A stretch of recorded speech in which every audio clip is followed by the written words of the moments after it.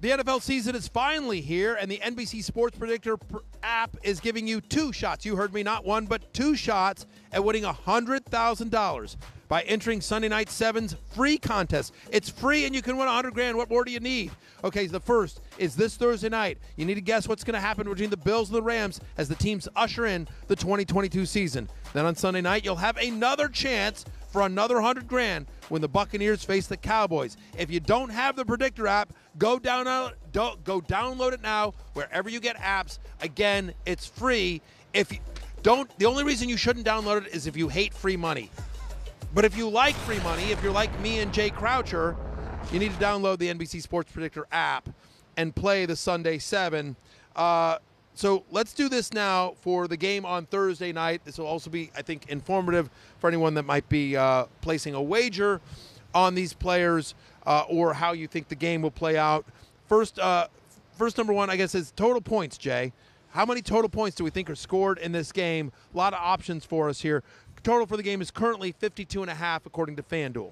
Yeah, it's a high total. And the way to think about totals, because, I mean, that, that's just a number in isolation, but the average total for an NFL game in the betting market is 48.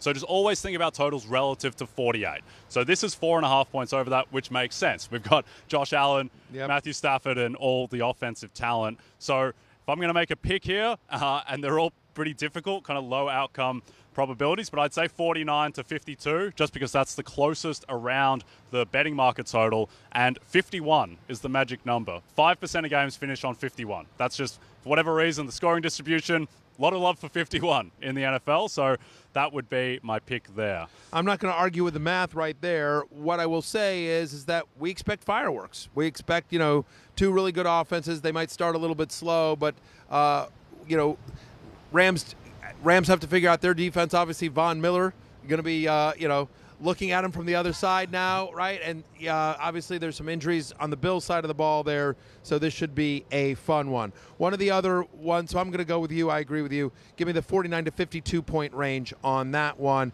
Another question that comes up in the predictor app for this one: more receiving yards, Stefon Diggs or my little Cooper Kupp?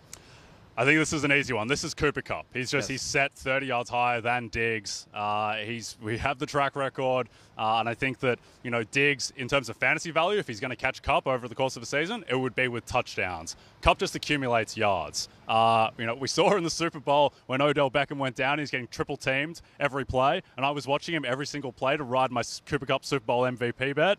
Uh, he's still getting fed the ball. He just gets open. He just accumulates yards. Okay. We agree. We agree on Cooper Kupp. Okay. Now the next one for you, Josh Allen, Matthew Stafford. Who do you think has more passing yards? Yeah, I'm uh, Josh Allen or Matthew Stafford. I'm going to go with Matthew Stafford oh, oh, oh, you know, just again, I'd rather go against the Bills secondary than the Rams secondary here. Josh Allen gets you, you know, points with his yards as well. So I'm going to take Matthew Stafford. Remember, his yard passing yard prop is 265 and a half. He went over this number 12 times last year. I think they're going to have to throw to keep up with the Bills. I, they're they're they're the uh, they're the uh, they're the underdogs here. We expect them to be trailing. They'll be throwing. Again, we already talked about the running backs are banged up as well. The way the Rams move the ball in this game is by passing.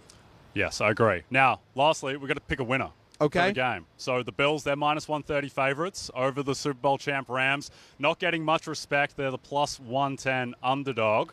Forget about the forget about the, the odds. Just who do you think is going to win? I think the Rams win this game. The defending Super Bowl champ has dominated on Sunday Night Football opening night. 11 and 4 straight up record in 16 seasons of Sunday Night Football. By the way, Sean McVay 5 and 0 straight up and against the spread in week 1 games.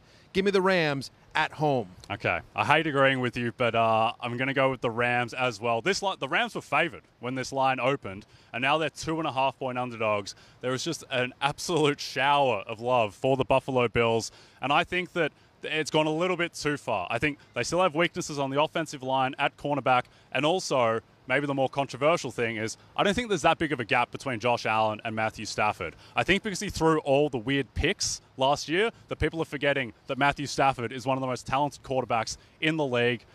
Josh Allen turns it over a lot too. I feel like, you know, when I look at this line, and you're somebody who sets lines and you did that for points, but I feel when I look at this line with the Bills being favored the way they are, the books are begging you to bet the Rams. Yeah, that's what they are. They're begging you to bet the Rams just because there's so much money on the on the Bills. Fading the public is never a bad idea. Worth noting, straight up uh, in Week One games over the last five years, the Bills were three and two. All three of their wins came against the Jets. Different story across the country in LA against the defending Super Bowl champ Rams and Sean McVay. Again, is 5 0 straight up and against the spread in week one games. Give me the Rams getting two and a half. I love that, and I like them straight up as well. So uh, we are there. Hey, it's Matthew Berry from NBC Sports and RotoWorld.com. Just want to thank you so much for watching what you just watched, or at least being too lazy to click out of it after the you know autoplay just kept it going. So either way, Thank you so much for just letting it scroll by your screen. And now I'd like to ask you respectfully, respectfully, respectfully, okay, respectfully, please subscribe to the NFL on NBC YouTube channel for the latest NFL news, fantasy headlines from RotoWorld, and betting analysis from NBC Sports Edge.